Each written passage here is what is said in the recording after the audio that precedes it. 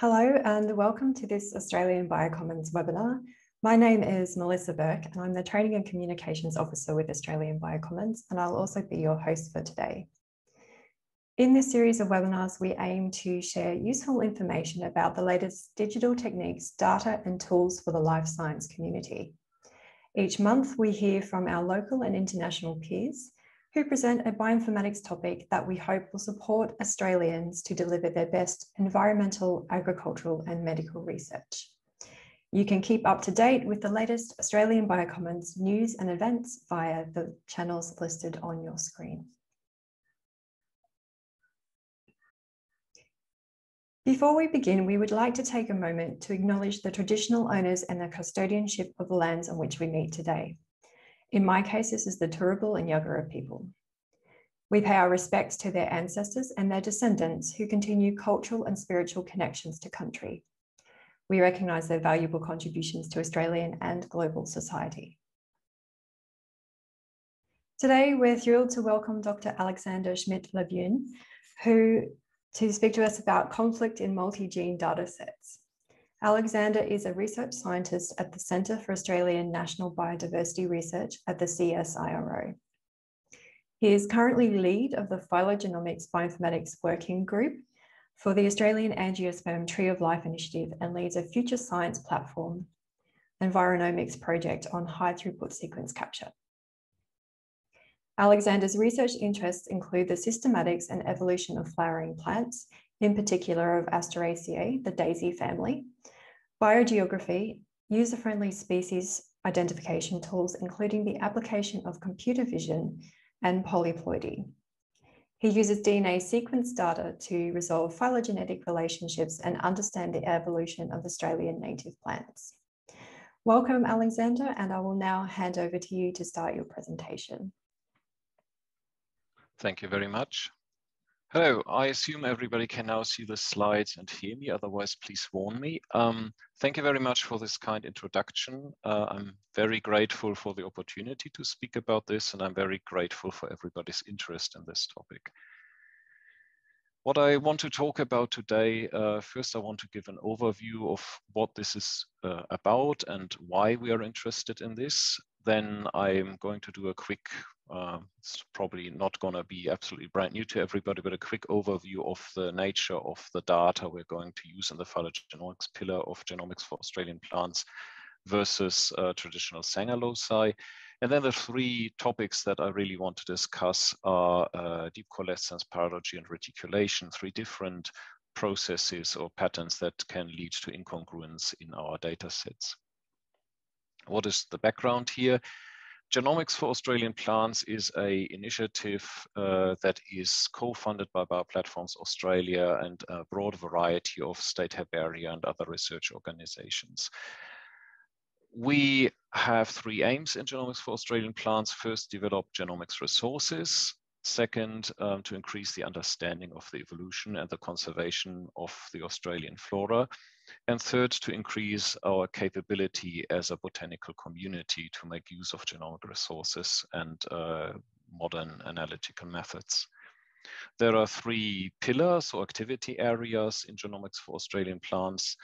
Uh, the assembly of reference genomes for the Australian flora, phylogenomics, also known as Australian angiosperm tree of life, and conservation genomics. And it is the phylogenomic area that this uh, webinar falls into. This webinar is um, part of more efforts at increasing our capability and helping each other. Um, there is going to be another webinar, more on that later, and a series of three workshops associated with the Australasian Systematic Botany Society meeting that is taking place in July. Please visit the conference website for additional information if you're interested. So again, this is about phylogenomics, and the premise here is that either in GAP or in other projects, we are now dealing with large numbers of low copy nuclear genes. In the case of the Australian angiosperm tree of life, produced with sequence capture, also known as target enrichment. Um, and the premise is also that we have got sampling uh, with a uh, fairly, um, you know, one per genus or one per species, or perhaps just, you know, one per subspecies or variety coverage. So uh, the kind of problem that is really phylogenetic, uh, pretty much above species level and even deeper about you know understanding the evolution of a genus, a tribe, or a family. And it is uh, not about species delimitation or population genetics uh, or other related problems. So the data we're using then from target uh, capture from sequence enrichment, however you want to call that. How does that compare to the data we've traditionally been dealing with? I've already indicated um, primarily we're using the angiosperm uh, 353 kit. As the name implies, uh, we're going to have hundreds of different markers, whereas usually in uh, Sanger-based studies um, that I also started with, we had only just between one and five markers generally per study. And uh, in addition, we get considerably more raw read data even per marker and per sample. So uh, in the Sanger age, we had a forward read and a reverse read, and so they would um, add up to a few megabytes of trace files that we would get out of the sequencer before we build contigs. With our enrichment data that we're going to have and are now starting to come in, uh, we have at least hundreds of megabytes potentially a few gigabytes of raw data that we have to analyze per sample. So that's uh, considerably more challenging to then uh, arrive at our alignments. In addition, because uh, the Sanger data were nearly always drawn from high copy regions of the genome, primarily the ribosomal and uh, the plastid, uh, nuclear ribosomal and plastid um, genomes, we could concatenate generally into two phylogenies, the nuclear and the plastid one, and uh, then we often found that they had at least slight incongruences with, between each other. In this case, with hundreds of genes, hundreds of nuclear low copy genes that are uh, pretty much inherited and recombined independently, we have a lot more incongruence. And the processes that cause this incongruence is, of course, precisely what the talk is about.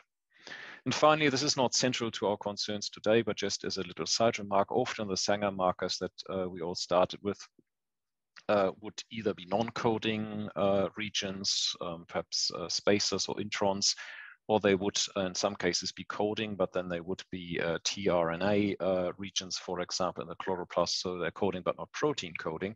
So often it made intuitive sense to um, partition our data sets by sequence region, whereas if in GAP, for example, we're using something like the angiosperm 353 kit for our um, uh, enrichment, all those genes that are being targeted with that kit are protein coding. So we may want to consider partitioning our data set by codon position because of course the third one is evolving much faster than the other two.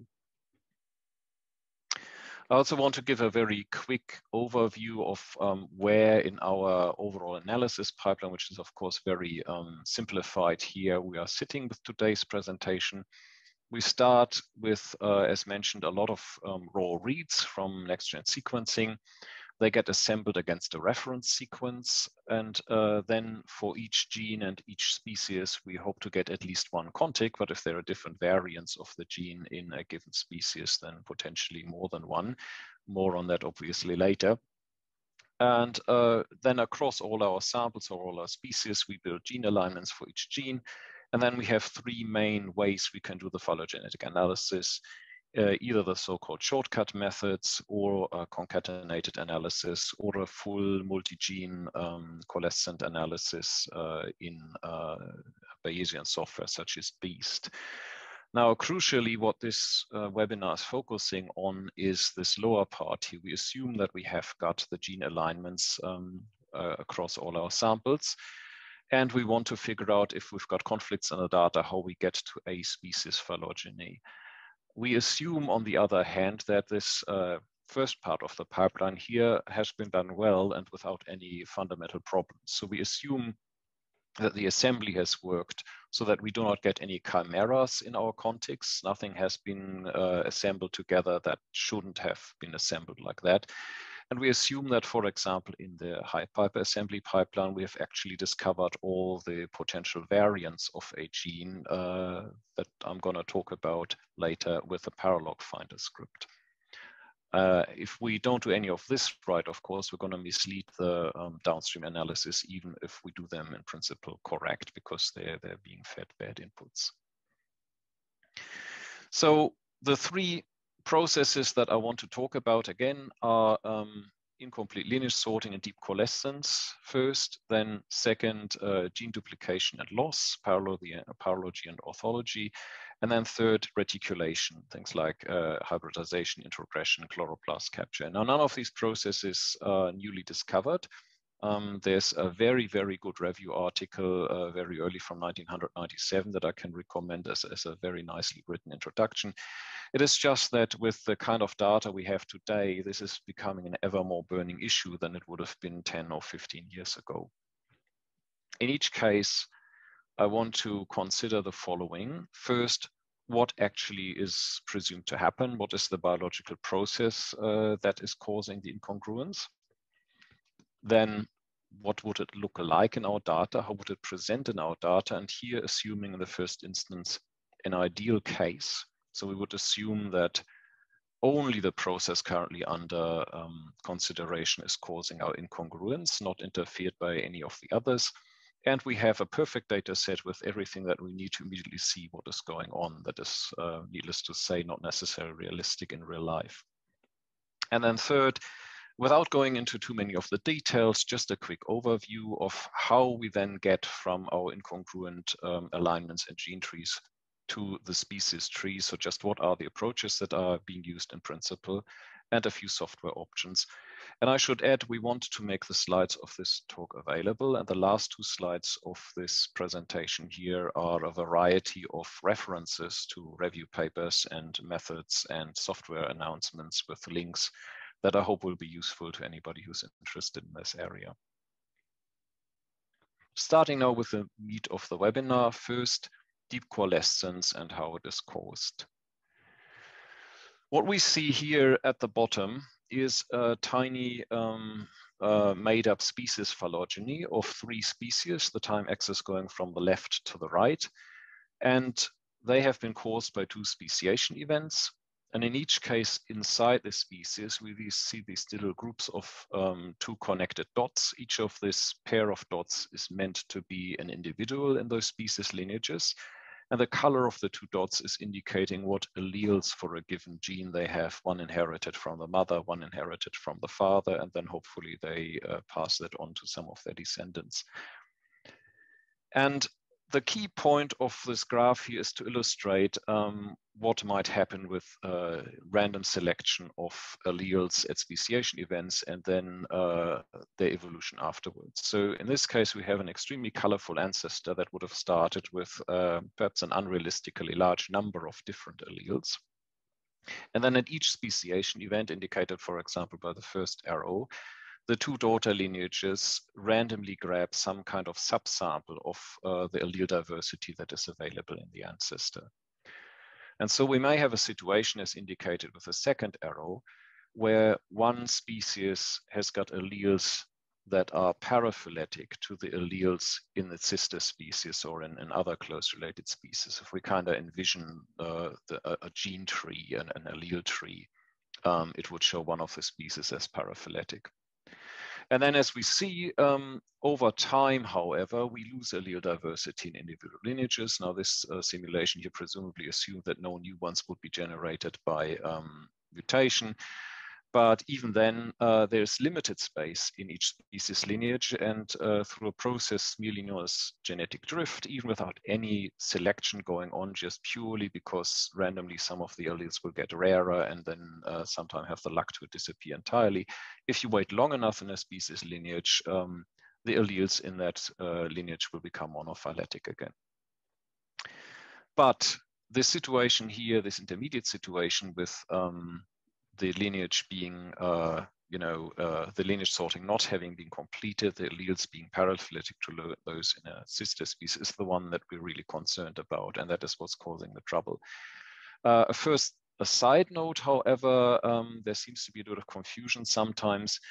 It is important to note that this incomplete lineage sorting does not have any implications for taxonomy, for classification. It does not mean that the species is badly circumscribed. And that has two reasons.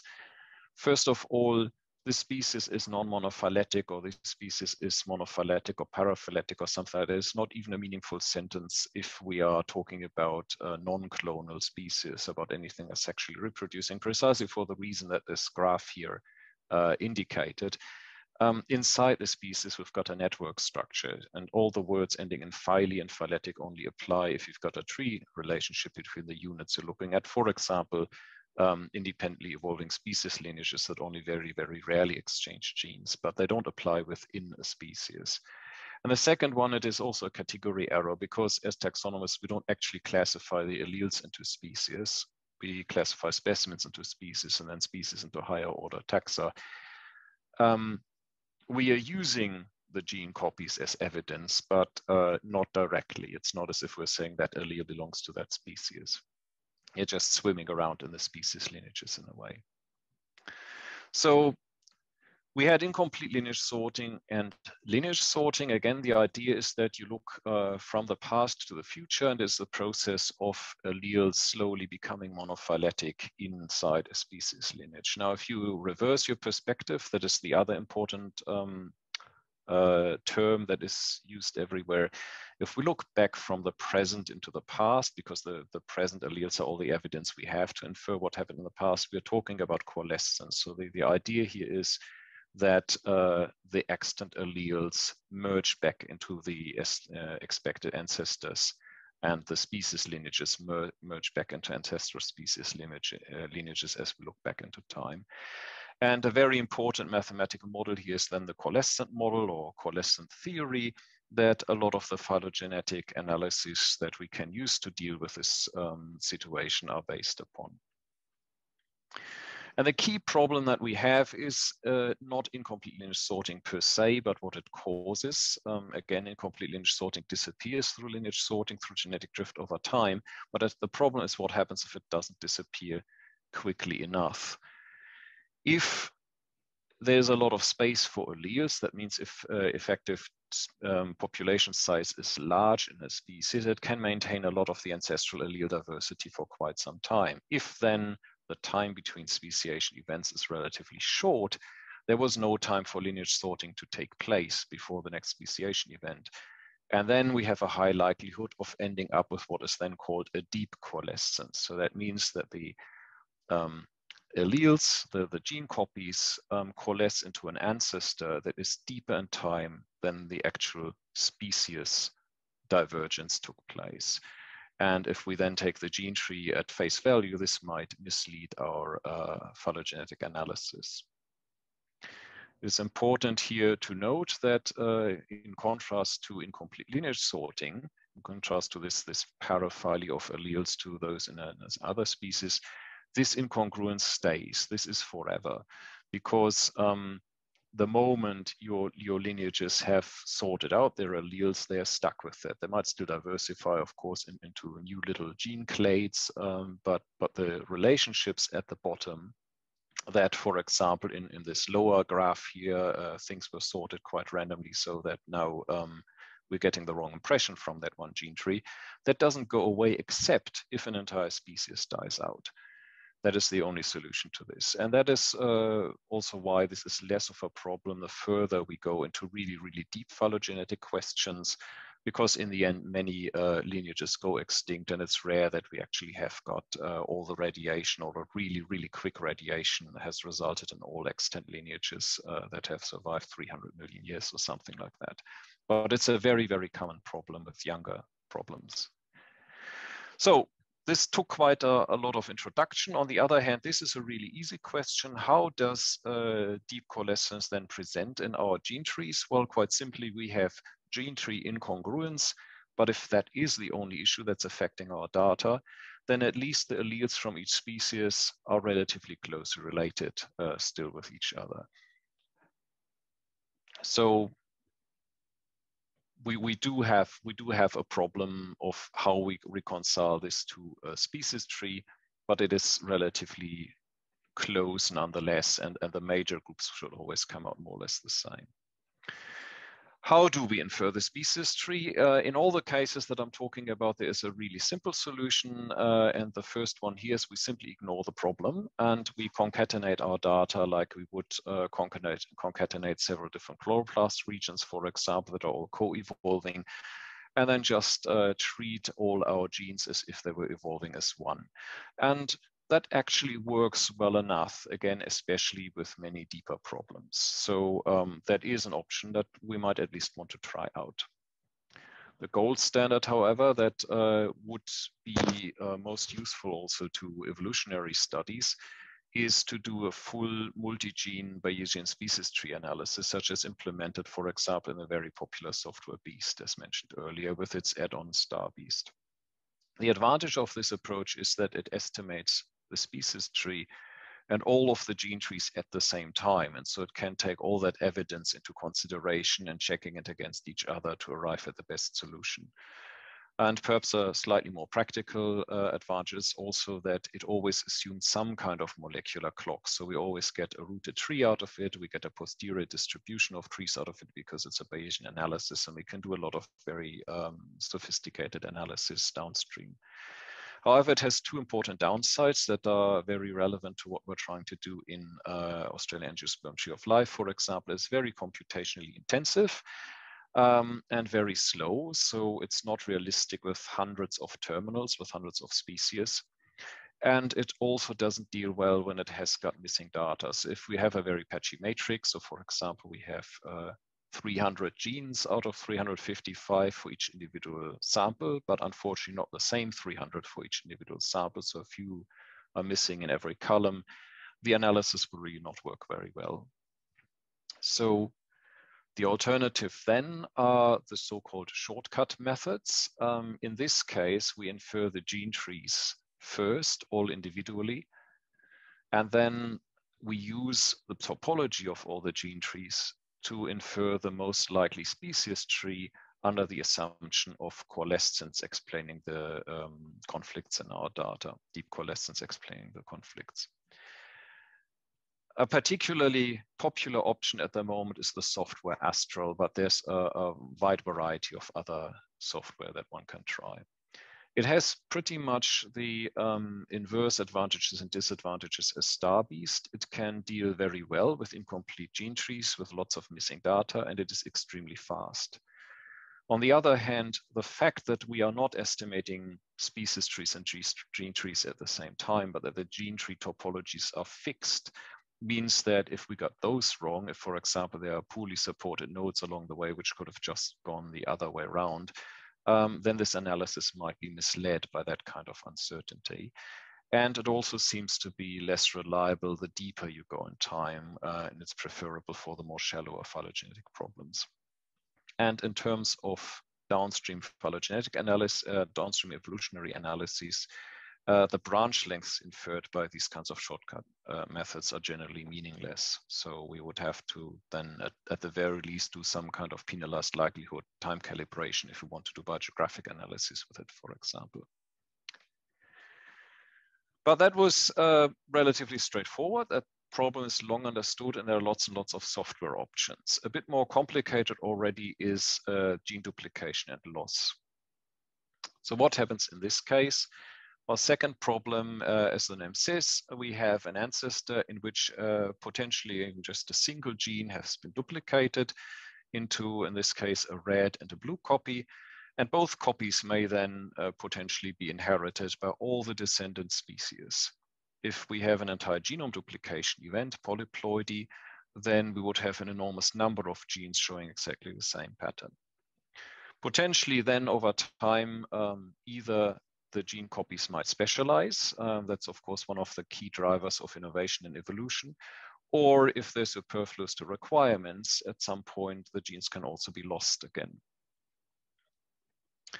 If we then look at various gene variants that have been produced by these gene duplication events across different species lineages, the two terms that we use are orthologs and paralogs. So if across all the samples that we've got in our analysis, we are always lucky enough to grab the red copy, for example, and compare them all against each other, then we're comparing orthologs. All the red lineages uh, of genes are an ortholog group. If, however, we are unlucky to, enough to unwittingly uh, grab red and blue copies, uh, a mix of them from different species lineages and try to do an analysis on them, then we are comparing paralogs. And the problem with that is that then the phylogeny of the gene family of, of these different ortholog groups interferes with the species phylogeny that we're actually interested in um, as phylogeneticists and systematists at any rate. Of course, if, if we're interested in the evolution of this family, then it's a different story, but we don't want to mix them up. So just as an example of what that looks like in one of my data sets, in this case, the daisy bushes, uh, this is not even an extreme example, but you can immediately see that there are some variants of this gene uh, that stand out because they're missing this one amino acid. Uh, and you can see that this same um, paralog is present in four of my species, and then variants that have got that amino acid are also present in all the same four species. And you can see similar patterns then with some of the nucleotide differences with some of the SNPs in these genes. So uh, this is just an example of of really visually immediately seeing that something is, is really a bit odd here. Now, how does that then present in our gene trees? Ideally, and, and again, this is a naive assumption, ideally, if we have got all the sequences that we can get, we have got absolutely no gene losses, uh, everything is beautifully clear, then at the moment in our species tree where a gene or genome duplication event happened, we should then find the same species twice on the gene tree with more or less the same relationships in, in two parallel clades. So for n gene duplication events, we should have n uh, species duplications on the gene tree in a sense, sometimes with more, sometimes with less. Now, again, that is an unrealistic assumption in reality, uh, we sometimes simply fail to amplify or capture uh, a allele or a gene copy. Um, in some cases, obviously, a gene is superfluous to requirements and was lost. And so in the lower tree here, you see that um, I assume that in the upper ortholog group, uh, the red copy has been lost, or rather, the red species has lost the copy for the ortholog group one, I should say, and then five different species have lost the copy from ortholog group two. But there's still uh, quite a bit of overlap between those two ortholog groups in terms of the species that have them. So we can see what is going on just as in the alignment. How do we then deal with that situation? Again, uh, just as with simply ignoring deep coalescence, there's also a way of simply ignoring this problem in a way. We just um, throw away all the genes in which we find paralogy and analyze only the rest. Now, clearly that is uh, a valid option if let's say I've got 300 genes and 30 of them have paralogs, it's gonna be a bit more painful if I've got 300 genes and 200 of them have paralogs because I'm throwing away the majority of my data. So we may wanna um, use some more sophisticated approaches. There are methods out there that bypass any bioinformatics solution, and they use the gene trees that include all the paralogs that we have assembled directly for phylogenetic analysis, and these are again shortcut methods. In a really old method that's been around for quite some time is a parsimony method called minimized gene duplications and losses. It does exactly what it says on the tin and is uh, implemented, for example, in the software IGTP, but also in the fairly well-known package Mesquite. And fairly recently, a likelihood alternative using the same logic has been published under the name GeneRax. However, mostly people deal with paralogy using bioinformatics approaches. And the one that uh, Chris uh, Jackson has implemented in the analysis pipeline for use in uh, the Australian Angiosperm Tree of Life project is the Yang and Smith pipeline uh, that was first published in 2014. And the idea here is to script automatically exactly the same approach that we would intuitively uh, take if we were to manually figure out where ortholog groups are. So we, we just discussed we've got these two um, clades that show duplicated species, uh, and then, then we assume there must have been a gene or genome duplication event between them. And so we would kind of take the uh, scissors to them and we take those two ortholog groups apart. The failure mode for this approach is if we have got so many losses or failures to amplify that we actually don't have these overlaps anymore. So in the lower um, case here, the first ortholog group is not present in uh, five species and the lower ortholog group two is not present in five species. And because they are just uh, complementary in their losses, we will not be able to tell um, that there is actually a genome-genome duplication event in this case. However, this is ever less likely to be an issue the larger your study group are, the more samples you've got in your analysis. And just very quickly to illustrate uh, with a practical example what the outcomes are of some of the scripts that are available. So the Yang and Smith pipeline actually has four options, uh, one of which is simply to kick out all the genes with paralogs. But in terms of the more sophisticated approaches, uh, there is this script called monophyletic outgroups. Uh, the idea is you do have an outgroup um, and you move successively up from the root through your tree. You check if there are duplications between uh, the sister clades at each node, and then you cut out and throw away the smaller one, um, rationalizing that at that moment there must have been a duplication event, and you keep whatever gives you more information for your phylogenetic analysis. So relatively simple and logical and straightforward. Then at the extreme end of the spectrum, there is another approach uh, there that is called maximum inclusion. And this quite simply iteratively takes apart the unrooted phylogeny into uh, pieces that do not show overlap in taxa, starting with the biggest um, clan it can find. This is a very permissive approach. You may end up with quite a large number of uh, very small ortholog groups that might not have a lot of information. And this is actually not being recommended by uh, Yang and Smith. But so we've got different options um, with different logic that we can examine. And finally, uh, just for clarification, uh, is not necessarily always an issue just because we have got, for example, genome duplication. If you are worried about polyploidy, but as in some groups that I've studied, all the polyploidy happens in the terminals, just within individual species, that is not really an issue.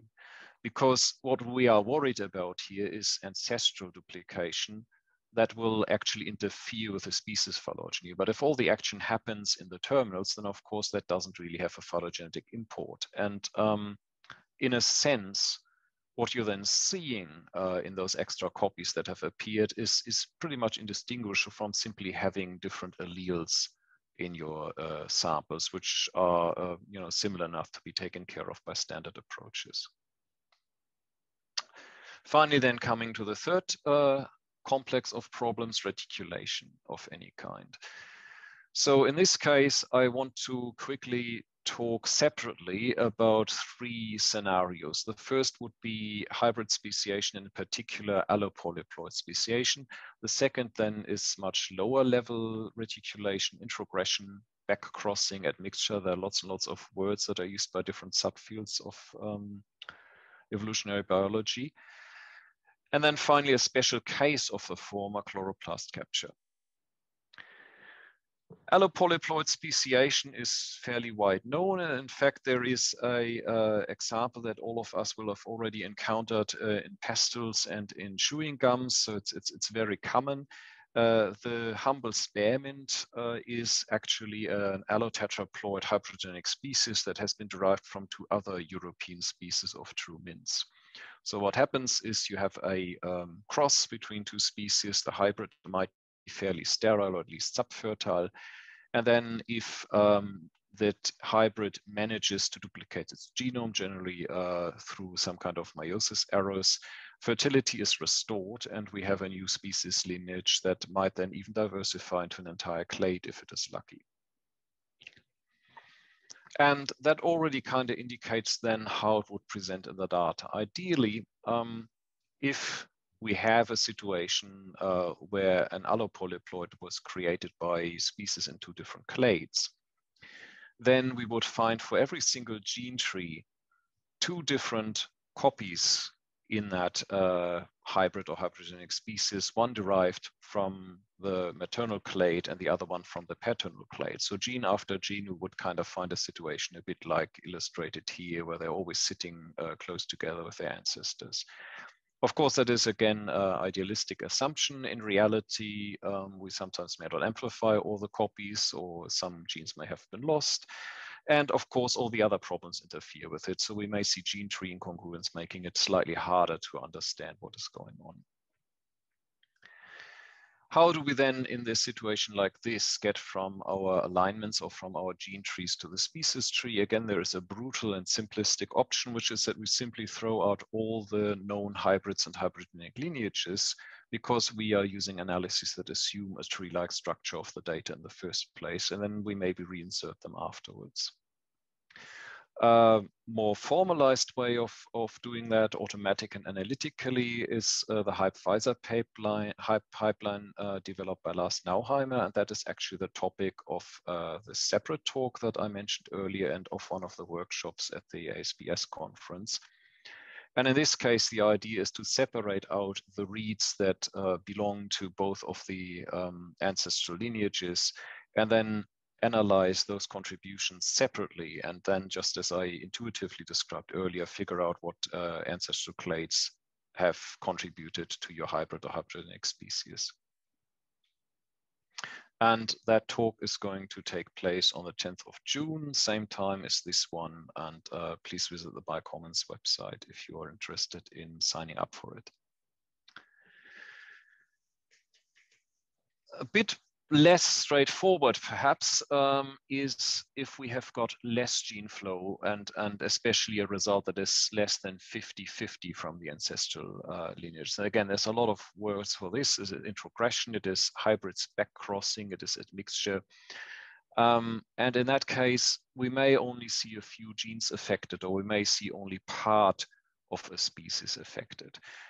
And of course, that raises, raise, raises immediately the problem, well, how do we distinguish that from deep coalescence then? And there are, there are two considerations here. One is um, whether we can have some kind of test that tells us which of the two might explain what is going on. And the other one is if we can have some kind of phylogenetic network analysis um, to figure out the relationships. In, in terms of tests, one option that has been mentioned in this context is the traditional ABBA BABA test. The idea here is that we uh, reduce our problem down to a simple case of three species and an outgroup. And in that case, we should find um, a relationship where lots of alleles are shared by the two most closely related species, uh, and then the outgroup and the third species share the other allele. Now, if then we have considerably more um, allele distributions that diverge from this, then we would expect from a purely stochastic um, deep coalescence and an incomplete lineage sorting model, then we would say, okay, that is strong evidence now that we have got gene flow between those species going on. Um, the problem with this for our present purposes is that it uses allele frequencies. So really, ideally, you have a data set with lots of single nucleotide polymorphisms and multiple individuals for spe per species for good results. But it is something that some of us uh, might be interested in exploring. A test more suited perhaps to the kind of data we're using for Australian Angiosperm Tree of Life was developed uh, in 2009 by Joly et al. In this case, a simulation test is conducted where they are trying to compare the estimated age of the gene tree coalescences versus the age of the species tree coalescence.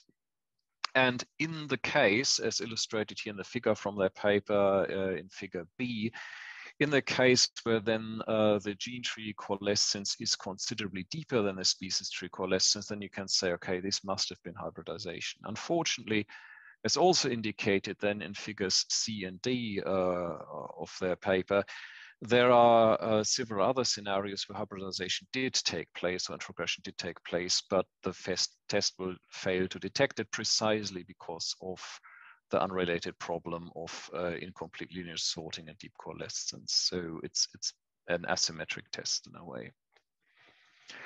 There are phylogenetic network analyses. Um, a particularly well-known one is conducted by the software BPP, and then more recently, um, another software called SNARK has been published. So the idea in this case is that different um, models are compared uh, with simply divergent structures, with simply tree structures, and then where you add an event here or there uh, of lateral gene transfer of introgression between species. And the analysis tries to explain the data under these assumptions. The problem with that, it is generally fairly computationally intensive to compare all those different models, all those different scenarios. Uh, it's relatively slow and is limited to um, a few species, may, maybe five or six are what, what you mostly see in the literature. And there are then also some other um, somewhat simpler uh, phylogenetic network methods um, that can maybe accommodate a few more species. Finally, a, a separate comment on what might be considered a special case of introgression, but is particularly important um, in phylogenetics. Uh, organelles are known to jump between species more easily than nuclear genes. And in our case, of course, as botanists, we would be concerned about uh, chloroplasts, which is then called chloroplast capture by other species lineages. And for example, people who work on eucalypts will be very familiar with that situation. So how does that present in the data then? Well, we would expect if chloroplast capture is the explanation for the incongruence, we're seeing that nuclear data more or less consistently supports one topology and chloroplast data another. So for example, if we have um, a ribosomal tree and we have our capture tree with 300 different genes and uh, we fairly consistently get one relationship, but the chloroplast annoyingly gives us another uh, then we might want to consider, well, maybe this is due to chloroplast capture, such in, such in this example here. Now, I have spoken largely about ideal scenarios. Uh, the problem is, of course, in reality, we generally don't have an a priori knowledge of what is going on and the data may be a bit complicated. So it's important to understand that a lot of what we do, we base on our assumptions of what is plausible. So we need to understand the biology of our species. We might need to understand the geography. We might need to understand uh, the age of the lineages. And, and then we take all of this uh, as, as circumstantial information that we apply to the incongruences that we see. And one thing that we need to keep in mind is that both being able to hybridize with each other, um, but also the deep coalescence problem should peter out the more distant the lineages are. So it's, it's much less likely that you've got a deep coalescence between things that are 20 million years apart than between things that are 1.5 million years apart. And it's much less likely to, to hybridize a eucalypt with a daisy than it is to hybridize different eucalypts. So if we got really, really, really, really deep incongruence, uh, what's either an error we made in the assembly or it is then more likely to be paralogy. But um, distinguishing the other two is probably the trickier issue. So in summary, we have discussed deep coalescence. It is caused purely randomly, um, especially if there are large population sizes and rapid successive speciations. And we have got a variety of phylogenetic methods to solve that problem. We have got um, paralogy, gene, gene duplication uh, or genome duplication, and in that case, we have got both some shortcut methods and bioinformatics solutions for the identification of the various ortholog groups at our disposal. And we have got reticulation in the form of either hybrid speciation or, or more limited introgression. And in that case, there are tests available to figure out what is going on and phylogenetic methods, at least for cases of few species. And again, the ideal cases are easy to recognize, but in reality, uh, we will often find slightly more incomplete data sets. And the key problem is all of them can potentially happen in the same phylogeny. As I mentioned earlier, uh, there's a variety of resources attached to this talk that you will see when the uh, PDF becomes available. But for the moment, I would like to thank you all for your attention, and uh, I'm looking forward to the discussion that we can have. Thank you. Thank you very much, Alexander. We do now have time for questions. If you have a question for Alexander, please write that into the Q&A panel in your Zoom dashboard and we can answer those for you. And while you're thinking about questions, I'll pop the links to the next webinar and to the workshops back up on the screen again. So as Alexander mentioned, the next webinar will be on the 10th of June, and you can find more information about that on the Australian BioCommons website. And there will be a series of workshops at the ASBS conference in July. The information about those workshops is on the conference website and you can see those links there. As mentioned, these slides will be made available alongside the recording and we will link them from the description in YouTube so you'll be able to find them there. So as there are no questions this afternoon, we will leave it there for today. Finally, thank you again, Alexander, for a wonderful presentation and thank you to all of us for joining us. The Australian BioCommons is enabled by NCRIS funding via Bioplatforms Australia. Thank you for joining us and we hope to see you in another webinar again soon. Enjoy the rest of your day and bye for now.